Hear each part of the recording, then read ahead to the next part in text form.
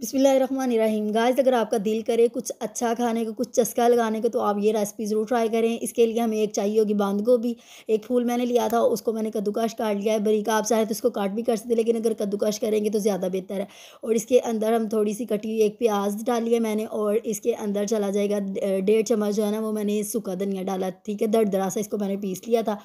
और इस थोड़ी सी इसके अंदर ये धड़ा मिर्चा शामिल की है, और ये जो है ज़ीरा इसके अंदर चला गया। फिर इसके अंदर ये सब्ज़ मिर्चें मैंने कूट के डाली हैं। और फिर इसके अंदर जो है ना वो तीन चम्मच भर के मैंने बेसन के शामिल किए हैं। फिर इसके अंदर सा चला जाएगा नमक ठीक है? बस यही मसाले इसके अलावा इसमें कोई मसाला नहीं जाएगा ठीक है? इस सारे मटेरियल को हम मिक्स करेंगे।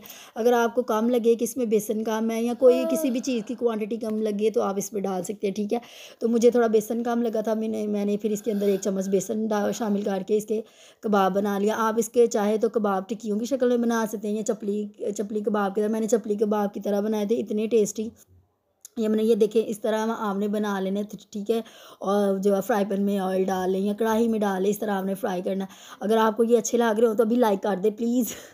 तो मेरी रेसिपी को जो है ना आपने ज़रूर ट्राई करना, अगर आपको ये अच्छे लगे हैं तो मुझे आपने कमेंट्स में बताना है कि आपको ये कबाब कैसे लगे। इतने आसान है, तकरीबन पाँच मिनट में ये रेसिपी तैयार हो जाती है और बहुत से, बहुत ईजी हैं और बिल्कुल यूनिक सी और नई रेसिपी है। आप इसको ट्राई करें और मुझे बताएँ कि आपको ये कैसे लगे अगर आप मेरे चैनल पे नए हैं तो मुझे सब्सक्राइब करें और लाइक करें और इसको ज़्यादा से ज़्यादा शेयर करें ताकि जिनके पास ये वीडियो नहीं गई, वो भी मेरी वीडियो को देख लें। ठीक है? ओके अल्लाह हाफिज़।